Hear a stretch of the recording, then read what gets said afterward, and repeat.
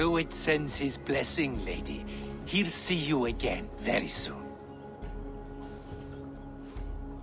That's enough to go on. Time to die.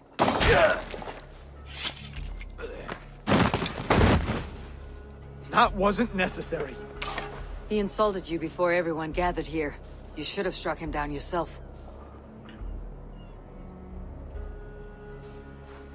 I will not have blood spilt needlessly in my kingdom.